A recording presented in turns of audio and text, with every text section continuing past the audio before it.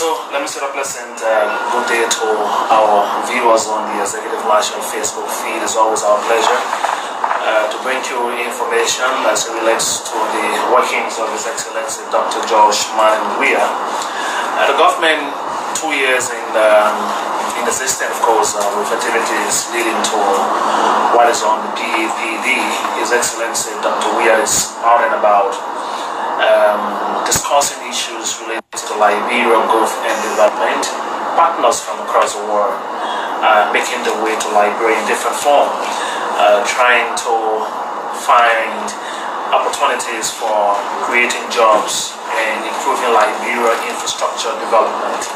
Uh, we are opportune today to be discussing sometime back you remember we told you about the Hartsfield Jackson um, relationship with Liberia. Uh, the team being in country for the last few days has been touring, facilitated at the Roberts International Airport. Uh, they've come to pay a courtesy visit here today at the offices of His Excellency the President. They've been holding talks with Minister of State Nathaniel McGill. We just talked to running in their schedules um, to welcome them first to Liberia and to hold uh, some discussion with them as their, their visit to Liberia, their interest into Liberia. Hartsfield Jackson Airport is located in Atlanta, the United States of America, I'm told. And so I want to welcome all of you. It's good seeing you. I love the smiles that you are wearing. This is the great greeting all of you well. Very thank you. Very well. Okay, so I will start with um, uh, you in the middle, and you have to call your name for our viewers. Uh, I know that you, you've been representing Liberia at the level of this discussion. So, by way of introduction, uh, what do you do and what is your name? Thank you very much for the opportunity, and we're very delighted and honored to be here this uh, morning. My name is Cynthia Blandford, and I have the honor and the distinct pleasure of serving as the Honorary Consul General for the Republic of Liberia in Atlanta, Georgia. I've been in my post for almost 11 years now, and I have the distinct pleasure of bringing our resources to bear, including our relationships and stakeholders in Atlanta, Georgia. And just to be sure that I recognize Honorable Bishop uh, Clay for his leadership in the work that we're doing in recognition of our sister airport agreement that was signed in 2017 in Atlanta, Georgia. So we're here for the a week, almost a week, to have deliberations on how to execute and implement the sister airport agreement. We're all very clear we can sign agreements any day, but we now have to put it to task with timelines and deliverables and outcomes we can all be very proud of. And so I'll talk a little bit more about that a little later in the interview, but on behalf of the 25,000 Liberians in the state of Georgia, I also want to extend uh, greetings, and they are wishing us well during these deliberations. Okay, like you rightly said, we'll come back to you with details, how it all come about, your involvement with it, and how did the management of uh, Hartsfield Jackson Airport even accepted coming to Liberia. Let me, let me uh, again welcome you. It's good seeing you. Uh, the first time here? Yes, it's my first time. Okay. My name is Alreen Richards Barr, and I am the Director of International Business at Hartsfield Jackson Atlanta International Airport. And I bring you greetings on behalf of Mayor Keisha Lance Bottoms and our General Manager, John Selden. And in my purview as the Director of International Business, it's my responsibility to sign and implement sister airport agreements around the globe. And we are delighted that Liberia is one of such countries in our system.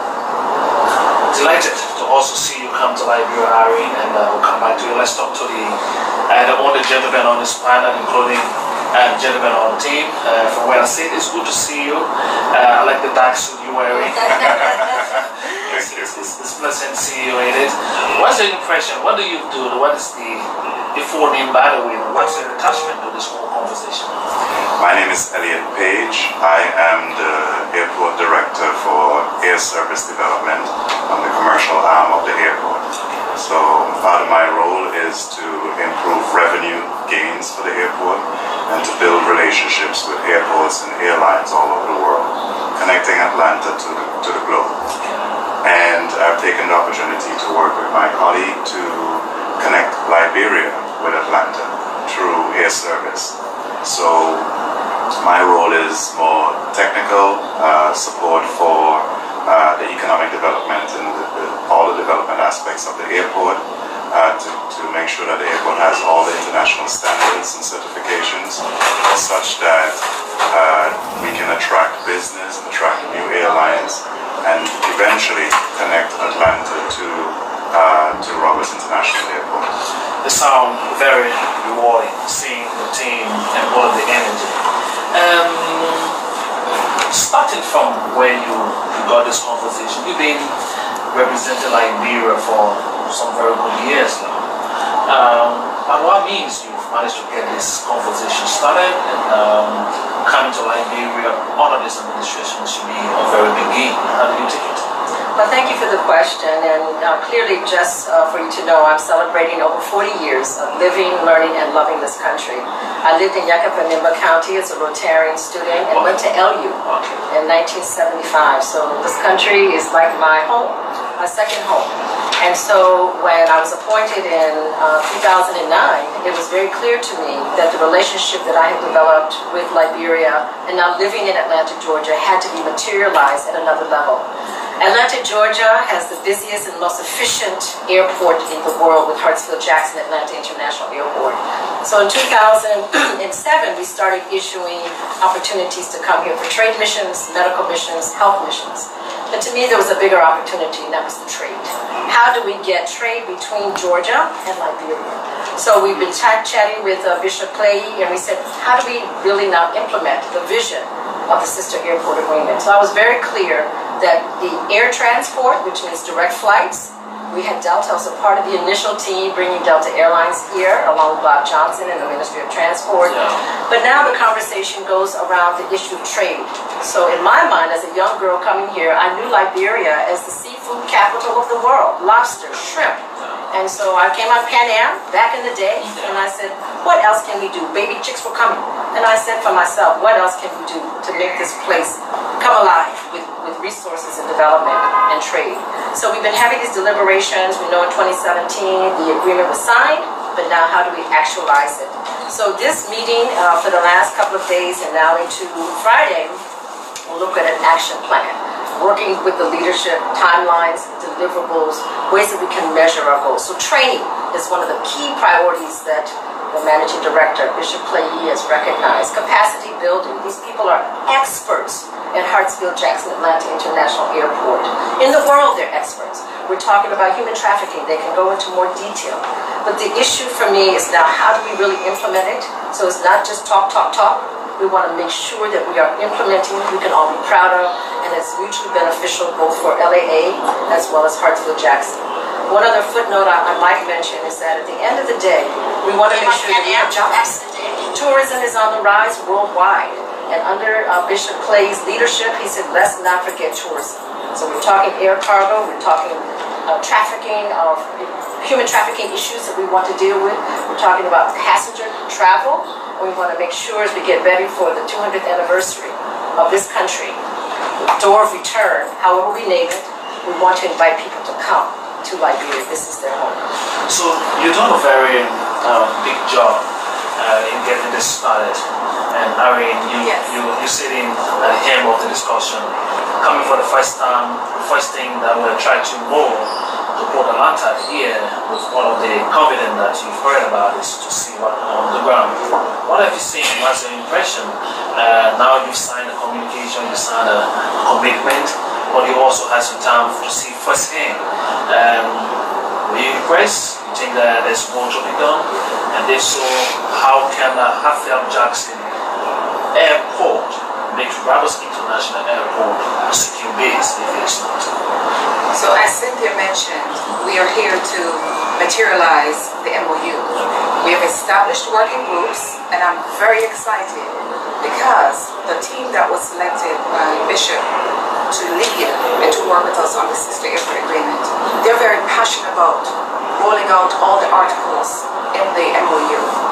And we are here to make sure that it is done. I know Bishop, I know he's sitting over there, but he is very passionate about this.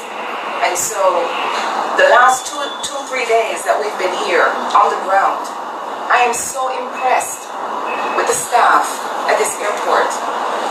They might not have all the resources that they need, but we are here to assist them. Talk about capacity building. We have established an international talent management program as part of this MOU. So they are welcome to come and train with us on the ground in Atlanta. They are welcome. Welcome to come and train. Welcome to come and train. Building capacity, that's very, very key. Yes, yes. So as you as you continue the, the, the discussion, are there plans of, um, of improving facility as well? Because um, air traffic is very very essential. Uh, flying aircraft around the world is also very important. The last time I spoke to Bishop Clay, he was thinking about your institution doing something like uh, building an institution to train people. Is that still in the work? That is, we're still working on that. We're, we're in talks. That's, that's in the works.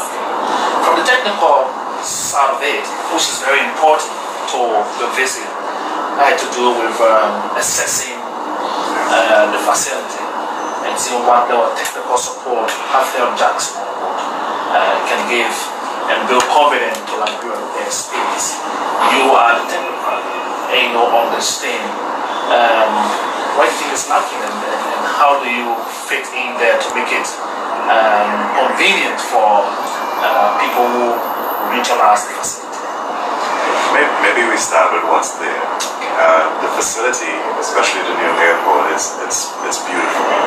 Uh, the, their, their development is headed in the right direction. Uh, as Irene pointed out, we have uh, excellent team uh, to work with on the implementation of this. Uh, they're bright people who uh, can hold their own anywhere in an international airport, anywhere in the world. Uh, what's needed, the next step, is, is training, and part of that is marketing. Um, we have to do a better job of marketing Liberia, marketing the airport, and letting the world know that Liberia is open for business. And I think that's the next step. There are various means of doing that. There's uh, such as the means we're, we're using today uh, through Facebook, through various forms of social media, but also through through other forms of social media, airport itself developing its own social media platform, uh, having a team to monitor that. Uh, we know that Liberians globally are very active on social media, and it's also a more affordable form of promoting more people. You get more value for money. Uh, but as well, just print media and, an overall support from general leadership. Uh, it's important that we continue to have support from the top because this is a collaborative effort. The airport can't do it on its own uh, any more than Atlanta and Liberia, uh, Roberts International can do it on its own. We need a community effort. We need the Ministry of Tourism. We need the Ministry of Agriculture. We need a variety of other stakeholders to participate in moving goods, uh, moving perishables, to move the shrimps and the lobsters that we talked about, uh, to move these clothes. I love what I've, what I've purchased here, and we would love to see more of this in, in Atlanta. So it's going to be a collaborative effort between a variety of stakeholders, and I think that's that's where we need to move. So it, comes back to you, the negotiator. I won't call you reference that way because uh, uh, you are the direct link. Uh, the government of the day is with you. You've managed to, to get this discussion going. You've brought a team in the country. But uh, these are some of the things they want to see happen. They need support from the top. They need other sector ministries and agencies. They've held a meeting a few minutes ago with the minister of state, and that is a guarantee that the top uh, is indeed concerned about it. But uh, what more you, you, you want to see happen because you need to give them the uh, the right approach so that they can give you the support. Well, thank you for the question. And I think today's meeting under the leadership of um, Bishop Clay, the meeting with Minister of State is uh, of Presidential Affairs, highly important and critical because he said, what barriers can we move out of the way to help you get this job done? He said, we will not put any barriers in the way. And you have my commitment and you have my leadership and my support. So that was the number one thing we were looking for. Because when we get back to Atlanta, we're about business. And we are going to, our name is on the line here. Yeah. It's not just a written document. We want to see this work get done. So when we get back, we'll write an official report. I know they're submitting it. I will also submit one to government, well documented. And then these technical meetings are critical. While we may not get here once a month, we'll have monthly meetings or every other week meetings until we can get things moving properly. I can see it moving very aggressively for the next year to make sure that we are on task and on track. Believe me, when we go live with social media, and we are, people will be monitoring. This is the one thing that will hold us accountable. Are I also, right. I understand. And so um, it's our name, it's our reputation, and our, our word is our bond. And as a, as a daughter of this soil for more than 40 years, I'm vested. No matter what position or post I play in this country, I'm vested in this country. It's not just a mission, it is a commission that I have to see this work, and it will be done. So just believe that my name is here to ensure that this work gets done on behalf of the people, and on behalf of the government. Irene, uh, returning in the next few days or so, uh, based on your your engagement with um, stakeholders, um, also speak to what you take back in your management meetings and what recommendation is there uh, to get this going. The government said, okay, we will remove all of the hurdles, uh, the bottleneck, to give you an immediate start. Um, how soon you think Liberians should be looking through the windows and, and, and looking through the airspace uh, once there's no hurdles, uh, there's no bottleneck? Uh, what is sort of a speed or urgency uh, Hartsfield Jackson Airport is also going to this commitment from the government? Well, we are committed. We're committed. Once our name is on a document and we have meetings, we are committed to executing. And the commitment you see, we're here. So going forward, the next step is to make sure that this document does not stay on the shelf. We are going to work the plan, just like Honorary Consul General Cynthia said. So within the next month, I am expecting, this is our expectation, we're expecting that what we talked about, I mentioned, I, I talked about the, I did a, a workshop on human trafficking yesterday, for example. Some of the things that we discussed in that workshop, I expect them to at least put those documents in the bathrooms, establish a hotline. That is our expectation. How are you going to call if you see something, say something? We want to make sure that that's happening. Hotline is established. They're putting pamphlets and booklets in the restrooms and at the concessions. So that's one thing that I expect to see within the next month. Okay. Sound, sound very good. Back to the technical in making sure that it, it all happens. So with the with the engagement now, um, government of Liberia, your team, uh, looking for the will of helping Liberians. Whole you talk about job creation is also going to center around um, empowering Liberians. It's not just about the infrastructure. Uh, you need more emphasis on training what have you. Uh, what's the level of um, expectation in terms of what you're going to provide in job uh, for the already hungry Liberian population looking for something to do? Well, we, we start off with the training first. Uh, we have toured the facilities, we've looked at both the, the positives and the negatives, and we've made various recommendations. Uh, Irene has mentioned that she's also made some recommendations regarding human trafficking. So some of these things are easy to implement and can be implemented in a month. Something like putting a sign on a wall. Some are infrastructural and may take some time to, to invest in. Uh, then there is the, the need to, for us to collaboratively talk to airlines, for instance. Uh, we will have to attend various conferences together and speak to airlines collaboratively, saying that here's Liberia, and this is where the marketing comes in. Here's Liberia, here's a new international airport with new runway facilities, a new airport city being developed, uh, a new highway to Monrovia, which is going to be groundbreaking tomorrow. Uh, so with all of these new infrastructure, these are selling points. These are what you can market and sell to say, well, we're serious about business. We're serious about attracting investment and, and attracting new air service. We know that invest new air service and new investments uh, are positively related. So both have to work hand in hand. Uh, airlines are going to come once there's a reason to come.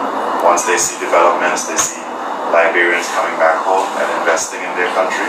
Once they see foreign invest- investment also coming in, and then the airlines themselves are going to want to come more to take advantage of that. So it, it, it has to happen together. There must be that good balance between both of them. Marketing, Harry, I want to come back to you before it quickly. Marketing will be very key in all of us. Uh, the aviation industry will be very important.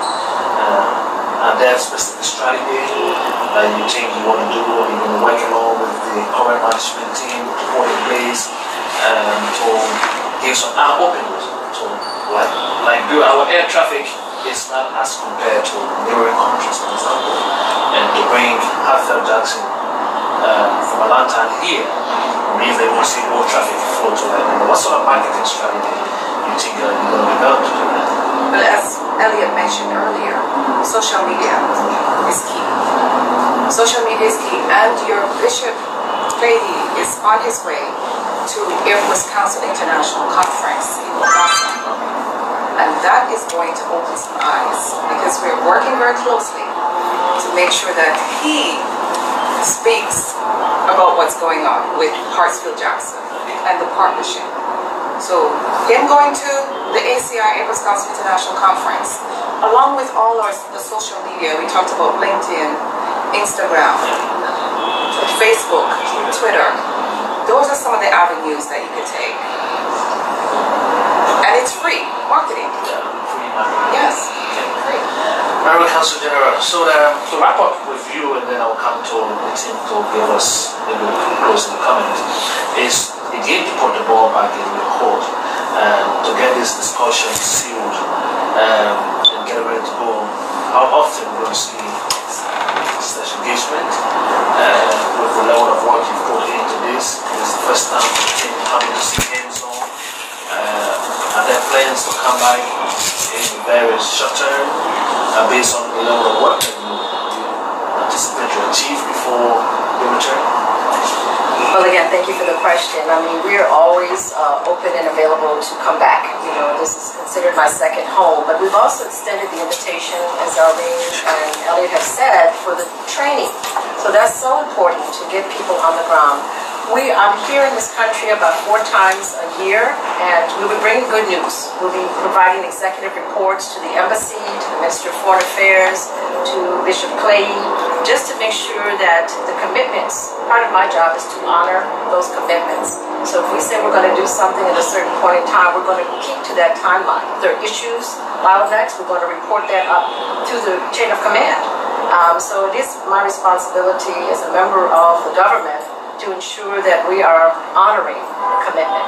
But one thing I wanted to say about marketing, if I could, even through the uh, Consul General's websites, we are also making sure that we're announcing these relationships. We're making sure our, our social media is live so that the diaspora, 250,000 Liberians in the US or, or so, will also get this message and can be a part of the support team to come home and be a part of this news. This is the good news.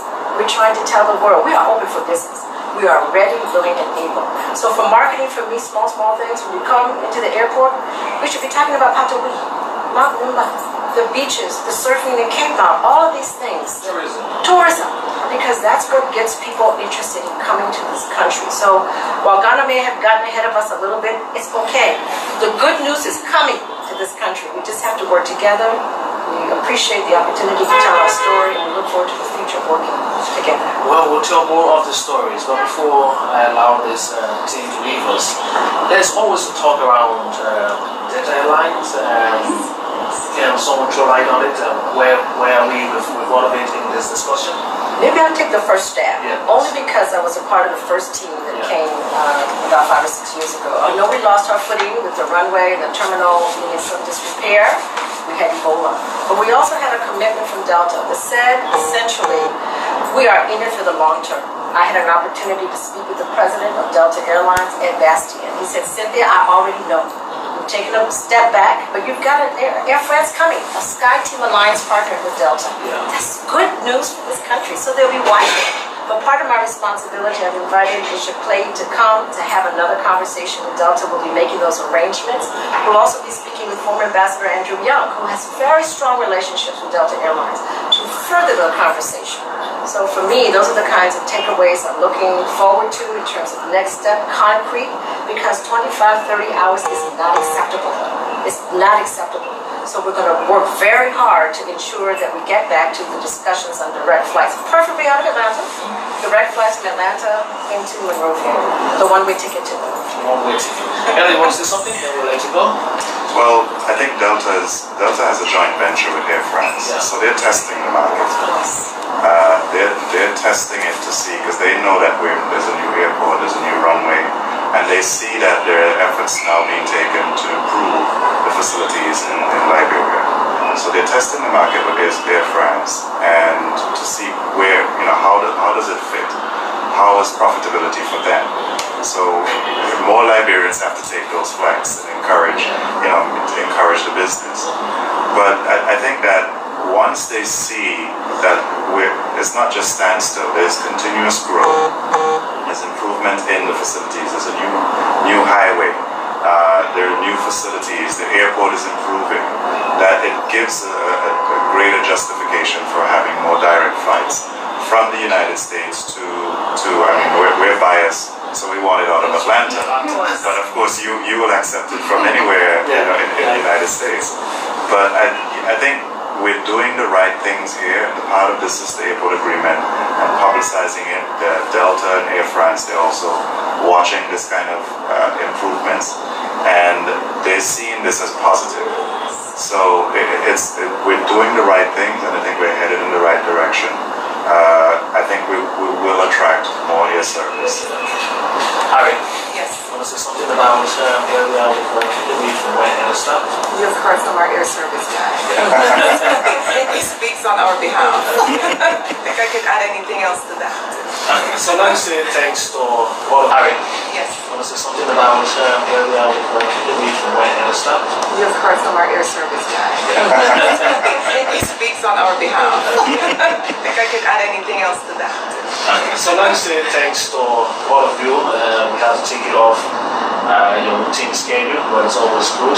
This is part of the um, social media component. Uh, this is the official page of the Executive Mansion, the President's office, and we've been screening around with a lot of viewers following our interaction with you. Irene, gorgeous looking African. Goes to our capsule. You almost in our purple suit, we call it. Yes, yes, good yes. see all of you. And I hope we can have one of these conversations anytime we visit Canada. But thanks for sharing some time with us. Thank you Thank so you. much for Thank you for having having us.